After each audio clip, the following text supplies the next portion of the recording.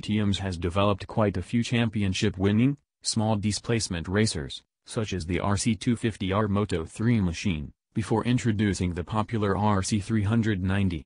Since that bike's debut, the ready-to-race brand has further developed the machine through dozens of RC Cups around the world, races in which the RC390 is the only machine on the grid, giving KTM ample real-world experience to draw from.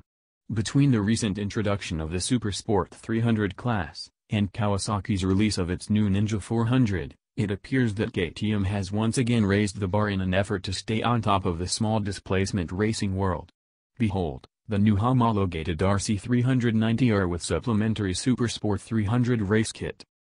The new production run of the R-Spec RCs will be limited to just 500 units, with each machine coming from the factory equipped with a collection of hardware upgrades. These include fully adjustable WP suspension fore and aft, CNC machine foldable clutch and brake levers, a specially tuned power plant, an all-new graphics kit, and new handlebars that allow for an even more aggressive riding position. The new RC390R carries an MSRP of $10,500.